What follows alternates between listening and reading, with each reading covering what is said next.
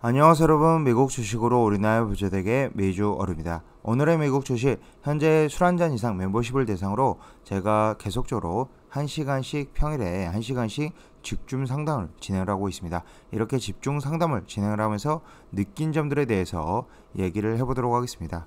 제가 하루 전에 대략적으로 어, 세 가지 정도 얘기를 했으며 오늘 추가적으로 세 가지 더 얘기를 해볼 생각입니다 먼저 1탄에서 다뤘던 내용 다시 한번 잠깐 보면 현금 비중에 대한 중요성을 강조를 드렸고요. 두 번째로는 세배 레버리지 비중 조절 그리고 단기, 중기, 장기 종목을 나눠서 매수를 해야 된다.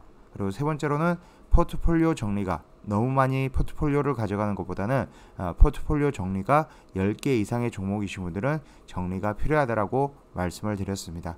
1탄 영상을 아직 못 보신 분들은 1탄 영상을 보고 오시면 좋을 것 같습니다.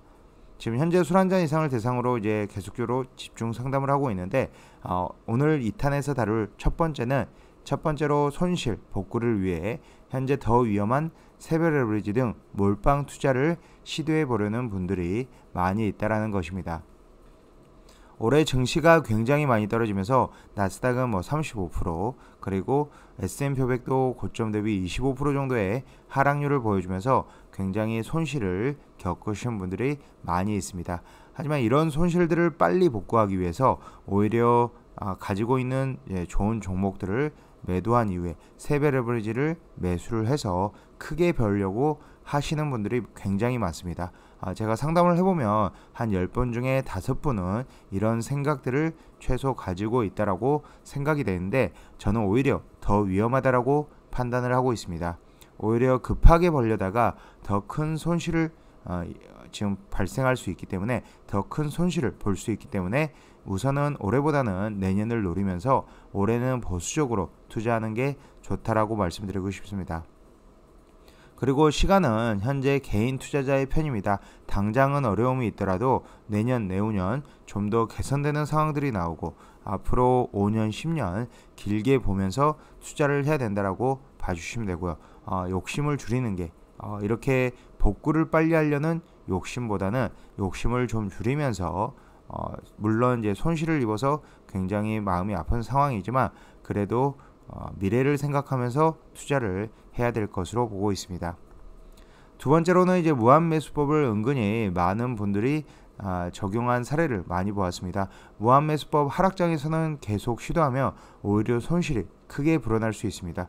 계속 물타기를 했는데 그 물타기를 하면서 더 큰 금액으로 하락이 발생이 된다면 오히려 어, 지금 손실이 커질 수 있기 때문에 조심해야 된다고 생각이 되고요. 특히나 이 무한매수법 어, 따라하는 것은 좋지 못하다. 하지만 이제 개별 종목에 어, 중장기로 투자하는 좋은 종목들은 어, 물론 적립식 투자 계속적으로 하면 좋지만 세배 레버리지를 무한 매수법을 적용하는 것은 지금 현재로서는 좋지 못하다라고 말씀드리고 싶습니다.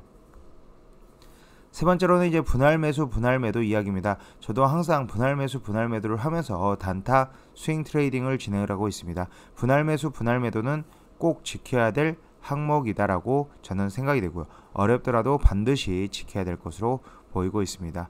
아, 지금 현재 개인이 앞으로의 증시 상황을 당장의 증시 상황을 예측하기가 굉장히 어렵습니다. 그렇기 때문에 분할 매수, 분할 매도 하면서 아, 수익권에서는 먼저 1차 분할 매도, 그 다음 또 수익권이 추가적으로 발생했을 때 2차 매도, 그리고 만약에 아, 수익권이 발생되지 않더라도 3차에는 약손절을 할 수 있는 이런 마인드로 투자를 분할 매수를 분할 매도를 진행해야 될 것으로 보고 있습니다.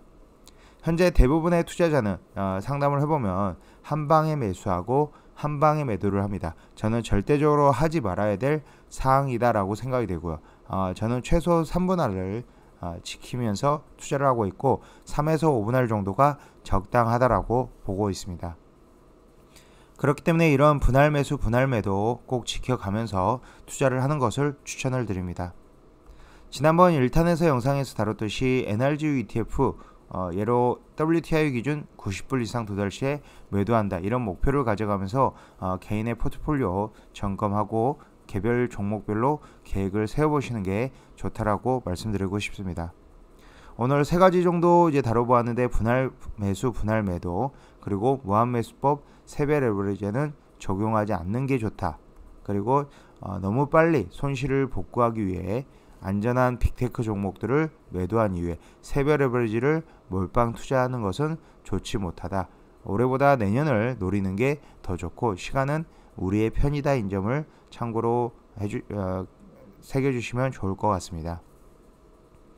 지금까지 비주얼 영상 시청해주셔서 감사드리고 앞으로도 비주얼 영상 많은 시청 부탁드리겠으며 계속적으로 어, 지금 현재 1시간씩 매일 1시간씩 세 분을 선정을 해서 집중 상담을 진행하고 있으니 많은 참여 부탁드리겠습니다. 감사합니다. 비주얼이었습니다.